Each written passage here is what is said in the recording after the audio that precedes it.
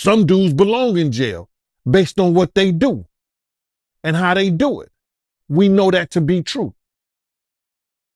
And it's just this situation, man. Um, when they get down to all the facts and all what happened, he may belong in jail, bruh. And that's not my doing. That's not Cassie doing. That's his doing and his learned behavior from the people that mentored him.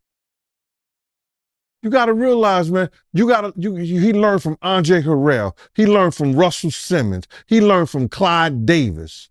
You understand? When those people are, are, are, are telling you that they were in heavy into the drugs, they was heavy into beating women and doing things at that age, at, at that crazy stage, that's going to make him think that he could get away with the same thing that they was getting away with back then.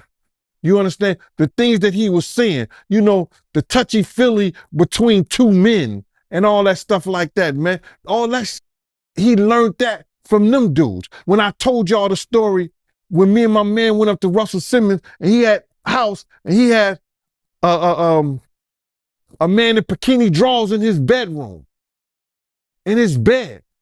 You understand? Bruh, this is that he learned. I'm, I'm assuming he learned it from them. Let me put that. And I, I'm not going to say alleged because I saw that for my own self. My man was with me, Slick was with me, and we saw that for our own self. You understand what I'm saying? So these are behaviors and things that with drugs and all the stuff that's going on, pills, uh, uh drinking, uh, it make it can make this man into a monster, and that's what it did, bruh. It made him into a monster, bruh. What's happening to him now is one of the greatest tragedies that we're gonna ever read about, bruh. This is going to be one of the greatest tragedies that Shakespeare couldn't write in Richard. He couldn't write it in Macbeth. He couldn't write this shit in homie Romeo and Juliet.